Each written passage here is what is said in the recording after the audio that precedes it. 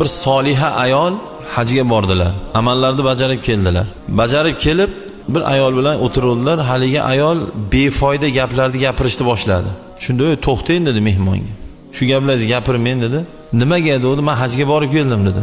Qancha qiynaldim qancha pul sarfladim qancha ibodat qildim. Allohdan gunohlarimni kechirishini so'rab keldim. Endi yana hajga borish nasib qiladimi qilmaydimi? Keling mani hajimni bulg'amang gapirmang degan ekan. U o'shandan keyin xulosa qilgan ekanki ha bir odam bilan ko'p o'tirsam bema'ni gap gapiradi. Bema'ni gap umrni bekor o'tkazish bo'ladi. Umrni bekor o'tkazish bu gunoh bo'ladi.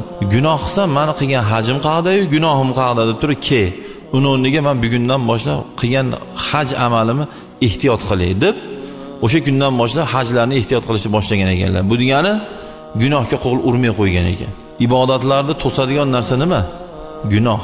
Gunohlar to'sadigan narsa nimasi? Ibodat deydi.